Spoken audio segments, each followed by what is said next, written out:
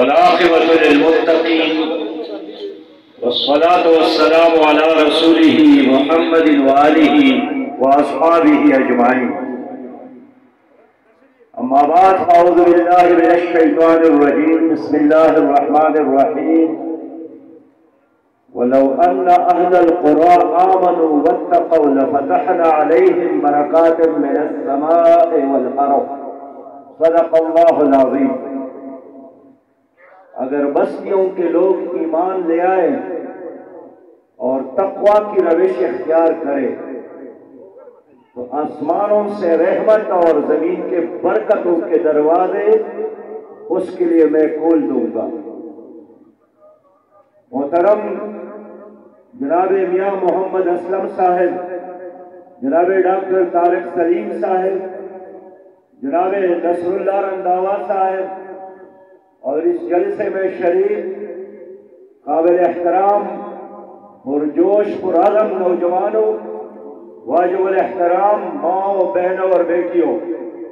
मैं जमात इस्लामी, इस्लामाबाद को मुबारकबाद देता हूँ कि उन्होंने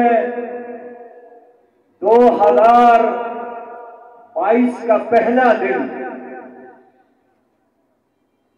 लोगों को एक पैगाम दिया कि तुम्हारी मुश्किलात, तुम्हारी माशी बर्बादी का, तुम्हारे मुल्क में महँगाई का और तुम्हारे मुल्क में बेरोजगारी का असल सबब, वो अगर एक तरफ़ कर्फ की आदत है तो दूसरी तरफ़ सूदी निदाब मीशत है।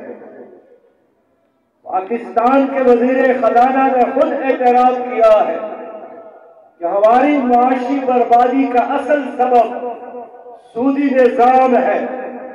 और आज पाकिस्तान के दारुल हुकूमत इस्लामाबाद में हम अल्लाह को हाजिर और नादिर जानकर सूदी निज़ाम के खिलाफ करप निजामी हुकूमत के खिलाफ इस मुल्क में महँगाई और बेरोजगारी के खिलाफ ऐलान जंग करते हैं और सूदी निज़ाम के खिलाफ ऐलान बगावत करते हैं। मेरे भाइयों और बहनों, सूदी निज़ाम यहूदी निज़ाम है।